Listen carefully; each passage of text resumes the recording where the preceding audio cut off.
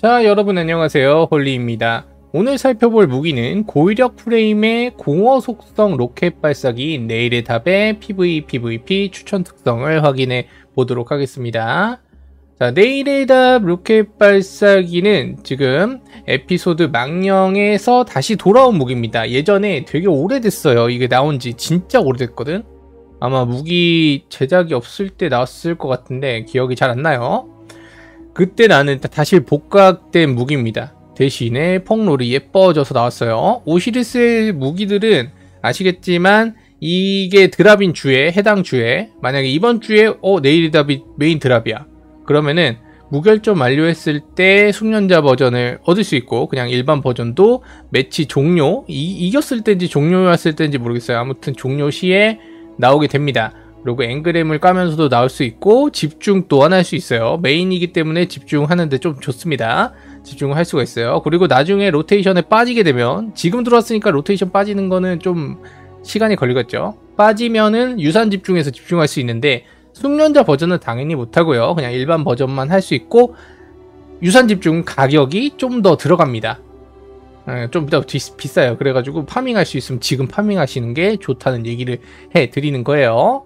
자, 이 무기의 특징점은 이전에 나왔을 때는 어차피 공격적 프레임이었, 아니, 고위력, 고위력, 공격적 아니, 고위력 프레임이었기 때문에 폭발 방향이 넓고, 넓고, 그 다음에 그, 나가는 속도 있죠? 투사치 속도가 낮아요. 그래가지고, 투사치 속도만 보완을 해준다면은, 이제 PVP에서 아주 쓸만한 로켓 발사기가 되는 거죠. 그래서 예전에도 충격 증폭기는 붙었습니다. 어, 부족한 투사치 속도를 충격 종폭기가 카바해주는 거예요. 그래서 이 로켓은 정말 쓸만한 PVP 로켓이죠. 근데 그때 PVE에서 쓸만한 특성들이 하나도 없었어. 그렇지만 이번에 선망의 암살자, 그 다음에 선망의 무기고, 그 다음 미끼와 스위치, 양각대, 폭발적인 미, 그냥 다 있습니다. 다. PVE에서 쓸만한 게 죄다 들어갔어요. 그리고 신규 특성인 여기 위축의 시선도 있는데 이건 아무래도 그 솔풀용으로 쓰시겠죠? 예. 솔풀용으로 써도 이게 더 좋을 것 같긴 한데 뭐 선망의 암살자나 예, 뭐 그런 류가 붙습니다. 그래서 PVE에서 상당히 강화됐다고 볼 수 있고 PVP에서는 요거 하나 붙는 것만으로도 요거는 사용 가치가 있다라고 볼 수가 있습니다. 기본 폭발이 진짜 높으니까 기본 폭발이 보시면은 90이에요. 아, 여기서 그냥 어, 속도만 죄다 찍어도 이건 그냥 엄청 쓸만해지는 겁니다. 네, 그래갖고 PVP에서도 괜찮고 PVE에서도 괜찮은 그런 거라고 볼 수 있어. 근데 PVE에서는 데미지 차이 때문에 좀 안 쓰시는 분들이 있을 것 같아요. 왜냐면 고위력 프레임이 딱 중간에 있거든. 정밀 프레임이 제일 낮고요. 그 다음에 적응형이랑 공격적 프레임이 데미지가 제일 높습니다. 그 차이가 10% 10%. 정밀 어, 정밀 10%였나?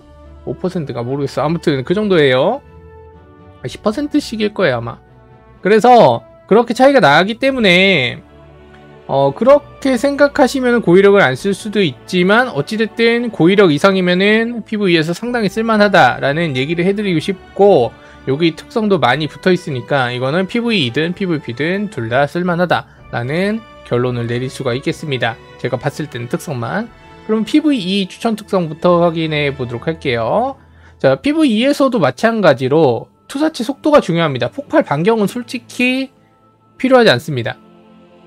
아, 근데 뭐 폭발 반경 안 챙길 필요도 없죠. 예, 근데 그렇지만 투사치 속도가 무조건 빠른 게 좋아요.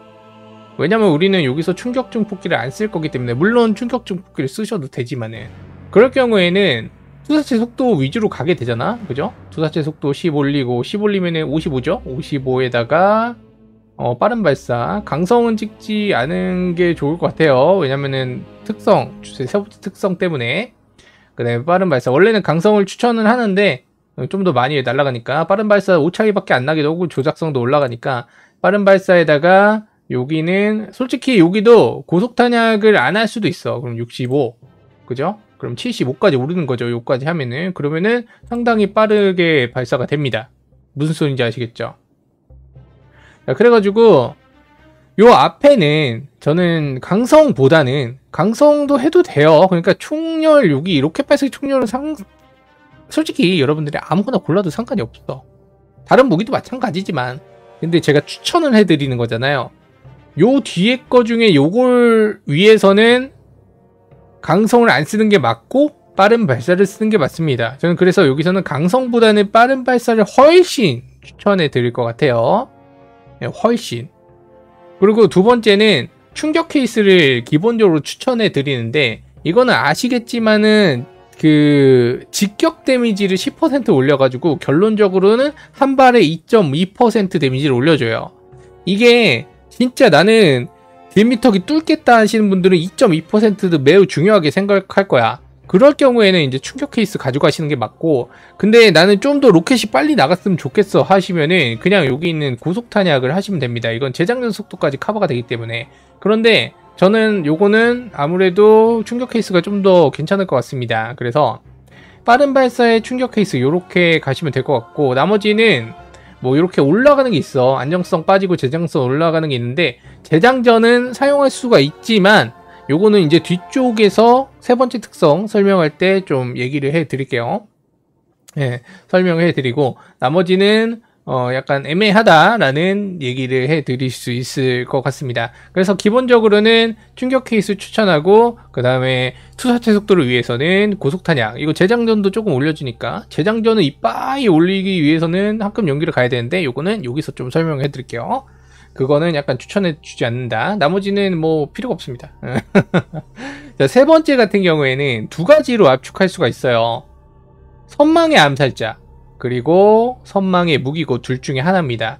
선망의 암살자는 아시겠지만 다른 무기로 죽였을 때 이 무기의 탄약이 오버장전되는 효과가 있어요. 그래가지고 여러분들이 좀 헷갈리시는 게 있을 수 있는데 처음에 어차피 선망의 암살자는 보스딜 할 때 처음에 두 발 정도밖에 빨리 쏠 수 없지 않냐 라고 어, 생각하시는 분들이 있는데 그게 잘못된 생각이에요. 그 하나만으로도 DPS가 엄청 차이 납니다. 어, 재장전을 계속 해야 되니까 물론 어, 로켓만 안 쓰고 다른 거랑 같이 쓰실 분들은 의미가 없죠. 자, 그래서 그런 분들을 위해 이번에 선망의 무기고가 나왔는데 이거는 미끼와 스위치와 아무 그 아주 좋죠. 어, 궁합이 매우 좋다고 생, 생각하시면 돼요. 그래서 충격, 아 충격 증폭기가 아니라 선망의 무기고는 유탄 발사기하고 똑같이 미끼와 스위치와 같이 쓰면서 다른 무기랑 조합해서 쓸 때 매우 좋은 시너지를 낼 수가 있는 겁니다. 네, 그래서 신규 특성으로 괜찮은 로테이션을 돌리고 싶으면 선망의 무기고의 미끼와 스위치를 가셔도 되고 물론 당연히 선망의 암살자의 미끼와 스위치 가셔도 됩니다. 이게 뭐가 조합이 좋다라고는 얘기를 해드릴 수 없어요. 자기의 플레이 스타일, 자기, 자기의 보스 딜 사이클, 그거를 잘 생각하시고 고르셔야 되는 겁니다. 그래서 기본적으로는 선망의 무기고에 미끼와 스위치를 추천하는 거예요. 무기를 돌리면서 계속 장전을 하는 거니까. 그리고 요거는 이제 선망의 암살자는 약간 로켓만 쓰게 됐을 때랑, 어, 로켓만 쓰게 됐을 때를 생각하시면 됩니다. 그리고 여기 양각대 같은 경우에는 양각대는 기본 데미지 증가 특성보다는 DPS가 좀 딸려요. 근데 탄수가 늘어나잖아. 어, 예탄이 늘어나기 때문에 어찌됐든 데미지가 줄어든다고 해도 예탄이 늘어나가지고 DPS 차이가 어, 엄청 많이 나는 건 아니도 그래도 나긴 나지만 최종 딜은 훨씬 나으니까 양각대를 쓰시는 것도 나쁘지 않은, 않습니다. 그러니까 이거는 잘 보고 선택을 해야 돼. 근데 거의 보면 보스들이 DPS 그러니까 높은 높아야 되는 애들이 많으니까 양각대는 약간 다른 방법으로 쓰긴 합니다. 아무튼 그렇게 생각을 하시면 되고요. 그 다음에 여기 폭발적인 빛 있고 요거는 기본적으로 좋은 겁니다. 예. 폭발적인 빛은 데미지가 상당히 많이 올라갔고 로켓 발사기 기본 좋고 7스택이기 때문에 똑같이 7스택이기 때문에 이 탄 자체가 음, 이 폭 그 로켓 런처 자체가 일곱 발이면은 반 이상이 보유하고 있는 탄의 반 이상을 쓰는 거거든요. 그래서 그거를 쓸 때 그 구슬을 다시 먹어가지고 회복을 할 수가 있다라는 장점도 있어요. 그래서 유탄보다는 폭빛이 좀 더 쓰기가 쉽습니다. 그리고 뭐 광폭이랑 치명적 무기 있는데 치명적 무기는 사실상 여기 있는 딜 특성 때문에 요거는 거의 필요가 없습니다. 왜냐면은 10% 데미지 증가기 때문에 치명적 무기는 거의 차차차차차 차저 차선책이라고 볼 수 있어요. 광폭보다 훨씬 낮으니까 15%예요 이건 좀 준비 시간이 있지만 그렇기 때문에 대체적으로는 선망의 무기고의 미끼와 스위치를 많이 찾게 되실 것 같습니다. 저도 요거를 좀 추천드리는 편이고요. 그 다음에 선망의 암살자에 미끼와 스위치 가셔도 상관이 없어요. 그리고 요거에다가 양각대 쓰셔도 됩니다. 어, 상관이 없어요. 자, 그렇기 때문에 양각대가 더 높으려나? 어, 그건 잘 모르겠어. 요거를 썼을 때 좀 달라질 수가 있을 거 아닙니까? 어, 기본적인 거랑 좀 다르니까 로테이션이 그래가지고 요거에 요거를 써도 나쁘지 않을 것 같습니다. 일단은 요거를 계속 추천해 드리는 거고 이거는 너무 로테이션이 잘 맞기 때문이야 둘 다 시너지가 너무 좋아. 그 두 번째 양각대를 쓸 수 있고 그 다음에 폭발적인 빛까지를 데미지 증가 특성의 최고 추천이라고 볼 수 있고 두 번째는 이거 특별하게 돌리고 싶으시면 선망의 무기고 난 로켓만 쓰겠다 하면 선망의 암살자 가시면 됩니다. 근데 로켓만 쓰겠다 하실 때 충격 증폭기를 하셔도 상관이 없어요. 아무래도 첫, 첫, 첫 발에 처음에 몇 발을 더 쏘는 게 좋긴 좋지만 기본적인 재장전이 무지하게 빨리 오, 빠르게 돼요. 충격 증폭기는. 그래가지고 만약에 여기서 충중을 쓰실 거라면 어, 축격 케이스로 데미지 올리는 것보다는 합금 용기로 재장전을 이빨이 올리는 게 훨씬 낫지 않을까라는 생각이 들긴 해. 그래서 아까 제가 여기서 설명해 드린다고 얘기를 해 드렸던 겁니다. 그런데 그걸 강추하진 않고요. 아무튼 쓸 수는 있다라고 얘기해 드리고 싶습니다. 그리고 나머지 설명해 드리, 드리자면 추적 모듈은 어, PVP나 PVE에서 별로 그렇게 좋지 않고요. 이쪽의 시선은 나 혼자 이거를 쓸 거라면 상관이 없는데 여러분들 네, 악화시키는 능력은 여러분들이 능력이나 무기, 다른 무기로 하게 되잖아요. 이게 굳이 여기에 필요할까 싶습니다. 중화기에는 그다지 필요가 없을 것 같긴 해요. 그래가지고 이것도 추천해드릴 수 없고 공중 트리거는 PVE에서 쓰는 게 맞습니다. 그러니까 공중 트리거에 아마 양각대를 쓰면은 탄이 좀 많이 올릴 거예요. 그래서 요거 같은 경우 저번에 몇 발이라고 말씀해 주셨는데 어느 분이. 그래서 재미나게 그러니까 그 탄을 최대한 활용할 수 있게 나는 로켓을 진짜 일반 무기처럼 쓰고 싶어 라는 그런 생각이 드시는 분들은 이렇게 조합하셔도 상관이 없습니다. 그리고 오른쪽에 설명해 봤을 때 요거는 별로고요. 집속폭탄은 이제 구시대 유물이고 유물이고 이제 쓰지도 않죠. 예, 거의 쓰지 않는다고 보시면 돼요.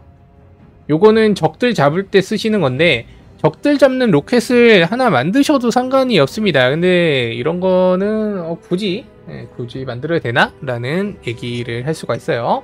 자 마지막으로 이제 설명해 드리면은 여기는 빠른 발사를 좀 더 추천해 드립니다. 빠른 발사를 추천해 드리고 빠른 발사를 사용했을 때 걸작은 조작성으로 가시는 게 훨씬 좋아 보입니다. 요거를 쓸 거기 때문에 선망의 무기고 조작성으로 가, 가면 되고 두 번째도 이제 충격 게이스 제가 지금 말해드리는 건 선망의 무기고를 쓸 때입니다.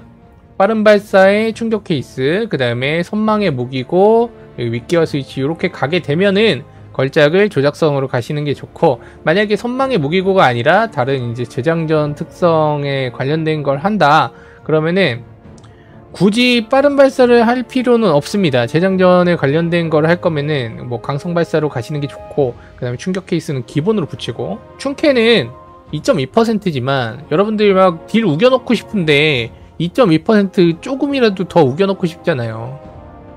어, 그럴 때 쓰는 거예요. 여러분들 2.2 아무것도 아니야 하시면은 그 이상한 겁니다. 모순입니다. 물론 2.2 아무것도 아니야 하시는 분들은 딜을 그렇게 빡빡하게 넣으시는 분은 아닐 거예요.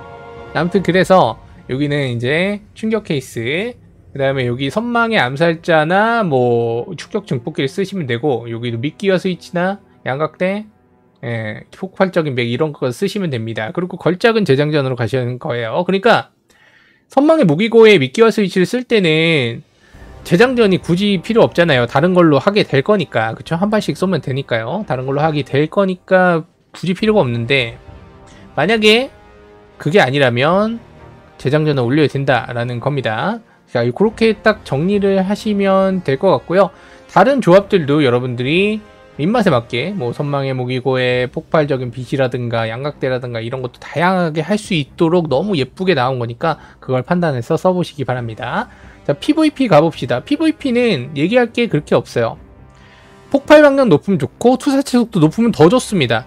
근데 이 고위력 프레임은 폭발 반경이 기본적으로 높고 투사체 속도는 낮은 편이란 말이에요. 그러면 투사체 속도를 올려야겠지?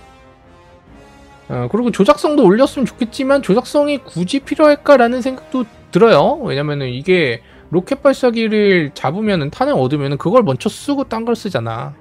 일단 한 명 잡고 시작하잖아요. 네, 그렇기 때문에 어찌됐든 조작성 같이 챙기면 좋은 건 맞아요. 그렇기 때문에 그렇지만 강성 발사 쓰기에는 폭발 반경이 떨어지므로 아깝잖아. 그러니까 여기선 빠발로 갑시다. 그럼 조작성까지 덤으로 오르는 거예요. 두 번째는 능력치만 보세요. 능력치만 보시고 어, 마이너스 안 되고 플러스만 되는 것만 하시면 됩니다. 근데 안정성은 마이너스 돼도 돼, 여러분. 그러니까 투사체 속도를 위주로 보세요. 어, 고속탄약이죠? 네, 고속탄약. 그러니까 이거 능력치만 보면 된다니까. 여기 투사체 속도 올릴 만한 거 여기 있죠? 그럼 10까지 올리면은 75가 되는 거예요. 일단 찍어둡시다. 세 번째는 다른 걸 필요 없어. 다른 거 볼 필요 없어요. 충격 중폭기 하면은 일단 그냥 미친 속도로 날아가는 거예요. 그러면 네 번째가 좀 생각을 해보게 되는데 어차피 네 번째는 뭐 util 특성이라는 게 이런 게 없어. 그러면은 결국에는 어차피 로켓은 제대로 맞추면 한 방이기 때문에 chain kill을 할수 있는 그러니까 약간 두, 마, 두 명이 있었는데 한 명은 죽을 반경이야. 어 근데 옆에 있는 사람들은 옆에 있는 사람은 좀 멀리 있어가지고 데미지 약간만 입었어. 그러면은 chain kill할수 있는 연쇄 반응이나 질속 폭탄을 가져가는 게 맞습니다. 둘 중에 하나. 근데 이거는 그냥 터지기 때문에 아마 연쇄 반응이 훨씬 좋을 거고 질속 폭탄은 이렇게 떨어지는 시간이 있어가지고 애매할 수가 있어요. 그래서 요거를 추천드립니다. 너무 이렇게 오랫동안 얘기할 필요가 없이 이거는 딱 정해져 있습니다. PVP용은 딱 정해져 있으므로 이거 엄청나게 좋다고 볼 수 있어. 자, 그래서 여기까지 살펴봤는데 PVP에서 상당히 쓸만했는데 이제 PVE에서 강화돼서 돌아왔습니다. 강화돼서 돌아왔고 어, 상당히 쓸만하니까 여러분들도 만약에 파밍하실 수 있으면은 PVE용이든 PVP용이든 한번 파밍해서 사용해 보시는 것도 나쁘지 않을 것 같네요. 자 아무튼 오늘은 여기까지 하고 다음 영상으로 다시 봅시다. 바이바이.